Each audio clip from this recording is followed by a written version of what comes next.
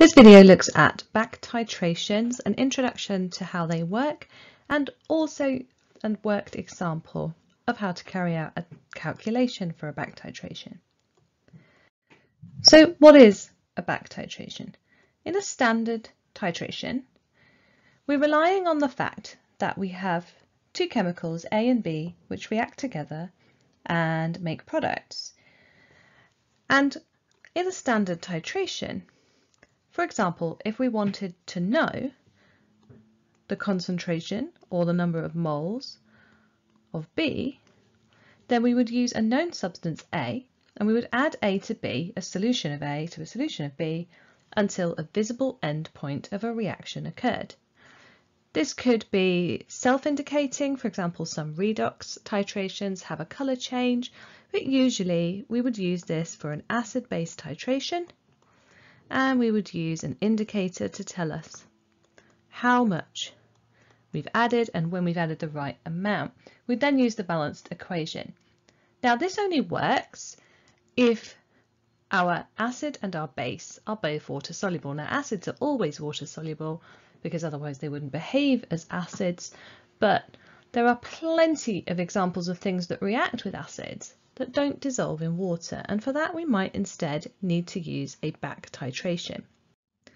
So in a back titration we still have two chemicals which react together but we can't react them together in a titration.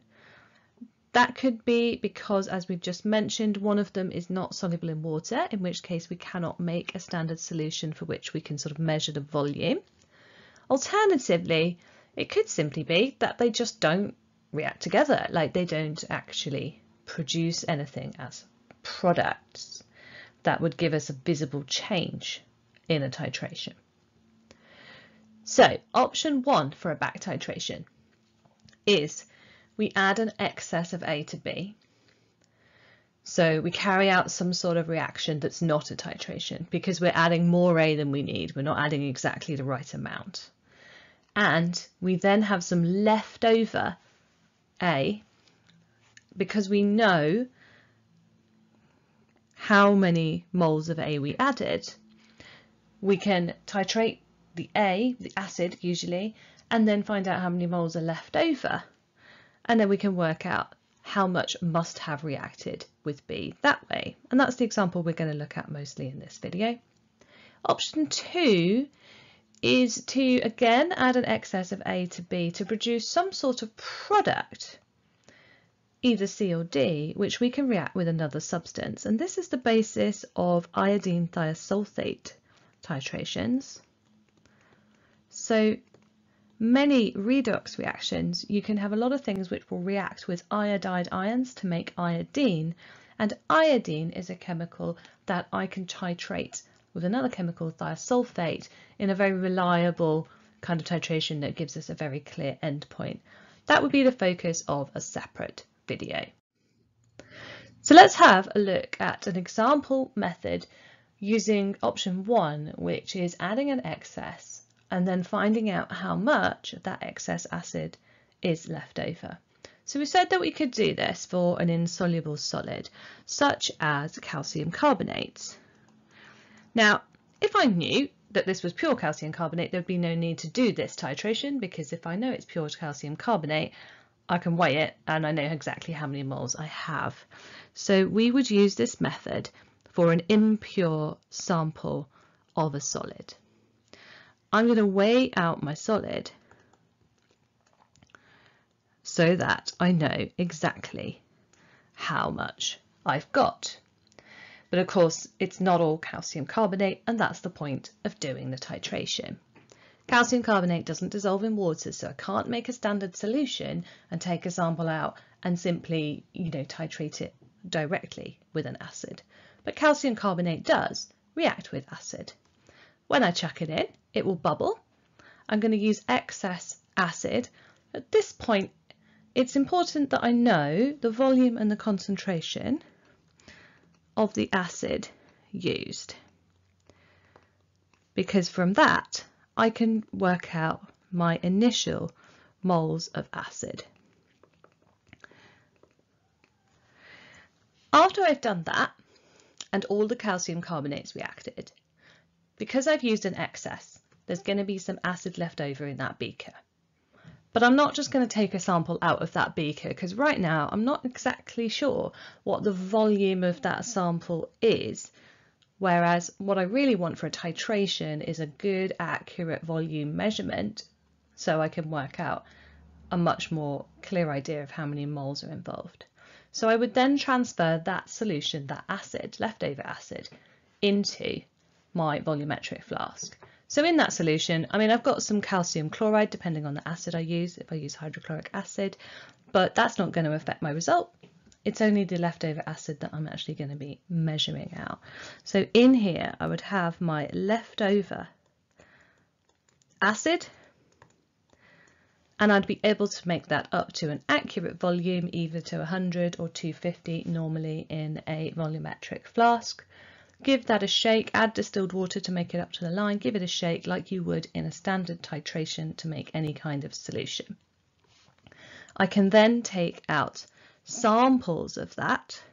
We never titrate usually our whole thing. We normally take out samples so that we can carry out a rough and do several different titrations so that we get a average of our concordant readings. So then I can titrate with a standard solution of an alkali, such as sodium hydroxide.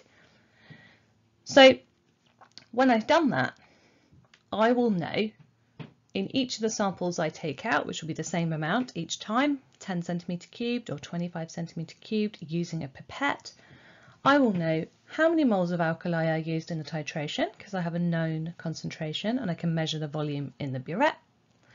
This means I know the moles of acid in my sample. I can scale this up and work out the moles of acid in that whole volumetric flask. That's my leftover acid and because I know how many moles of acid I started with, the difference is the amount that reacted with the calcium carbonate. And from that, I can go back to working out how many moles of calcium carbonate there are. Let's look at an example. So this is a real experiment. In fact, this is real experimental results that I did with my students last year. So eggshell contains calcium carbonate, but it's not obviously pure calcium carbonate. There are some other parts of eggshell. So this experiment is finding out the percentage by mass of calcium carbonate in some eggshells. So in this typical titration, obviously we have a mass of the solid recorded. And it's then, it says dissolved. Um, in 25 centimetre cubed of 1 molar HCl, although actually it's reacting, it's not dissolving. You would see some fizzing with the carbon dioxide given off at this point. Then we put in our excess solution in a volumetric flask and this time we're making it up to 250 centimetre cubed with distilled water. So I've got a volume of my flask and then in it, just like in any titration, I take out about a tenth of that, or exactly a tenth, 25 centimetre cubed with a pipette, and then we titrated that with sodium hydroxide, and we've been given an average titer value. Of course, we might have to work that out from a table. So from this, we've been asked to calculate percentage by mass of calcium carbonate in that eggshell sample. So for that, I'll need to know, but for mass of calcium carbonate, to work out percentage.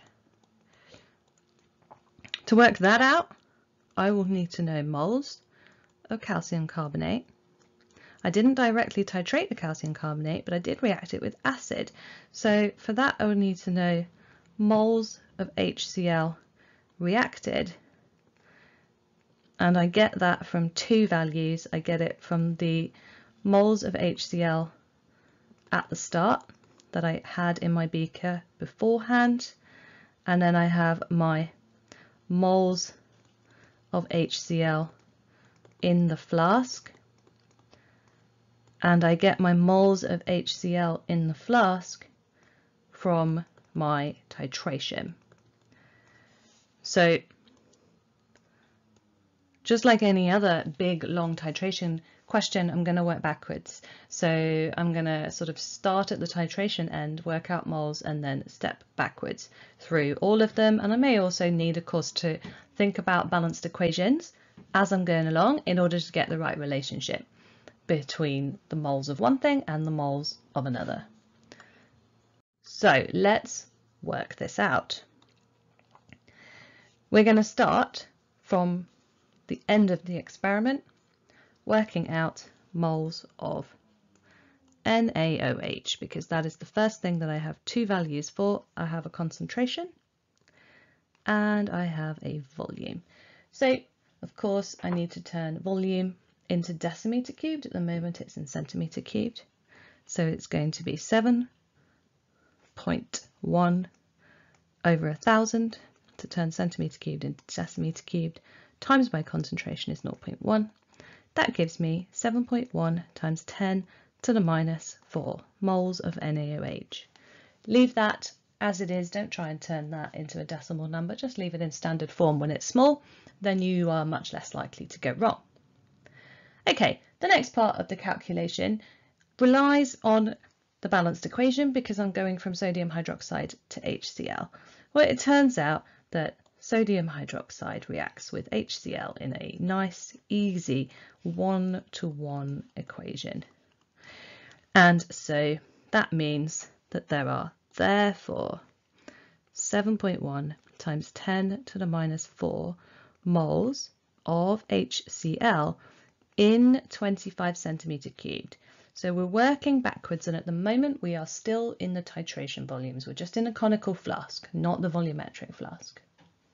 The volumetric flask has a volume of 250. And of course, it was the leftover acid, all of it went in the volumetric flask, and I need to know how many moles there are in total in that volumetric flask. So for the next step, very, very common in this sort of titration question, I need to multiply that by 10 because there are 10 times as many moles in 250 as there are in 25. So that means there are 7.1 times 10 to the minus 3 moles of HCl, and that is in my volumetric flask, and that is my left over remaining moles after the reaction with calcium carbonate. Now I have to consider how many moles of acid I had originally. So my initial moles of HCl, I have a volume and a concentration. So I know that I have 25 centimeter cubed, one molar acid. So my initial moles is 25 over 1000 times 1 gives me 2.5 times 10 to the minus 2. So now I need to calculate the difference between those two values because the difference is what reacted with my calcium carbonate. Just going to move on so that we have a bit more space to finish this calculation off. So the moles of HCl that reacted is going to be my initial number of moles, 2.5 times 10 to the minus 2, minus the moles that ended up in that volumetric flask, which we calculated as 7.1 times 10 to the minus 3. And that is going to give me 0.0179 moles of HCl. So I have worked out sodium hydroxide in the titration, worked out HCl in the conical flask in the 25 centimetre sample, then scaled it up to 250 and then found the difference between that and the HCl that the calcium carbonate reacted with. So that means that 0.0179 moles of HCl reacted with the calcium carbonate in my initial sample of 0.997 grams. Now we want to convert this to moles of calcium carbonate, so we need to use the balanced equation. balanced equation CaCO3 reacts with 2 HCl to make calcium chloride, H2O and CO2. If you're still a bit stuck on writing your balanced equation for acids and uh, bases, then have a look at my YouTube playlist on different types of reaction and writing equations for them. Okay, so calcium carbonate, one mole reacts with two of acid. I've got the moles of acid and I need to go back into moles of carbonate, so I've got to divide it by two. So my moles of calcium carbonate is 0.0179 over 2, which is equal to 8.95 times 10 to the minus 3. I now want to know my mass of calcium carbonate. So that's going to equal moles, which I've got here, times by MR. The MR is 100.1. So I do 8.95 times 10 to the minus 3 times 100.1, which gives me 0.896 grams. That's good. That's a sensible answer because it's less than 0.997, uh, but it is also like quite close to that value because I don't want a crazy answer like 0.0896 or something like that, which I might have got if I'd made a mistake earlier on. So to find my percentage by mass, it's just the mass of calcium carbonate I have over the total mass of the sample times 100 and it equals 89.9%, which makes sense.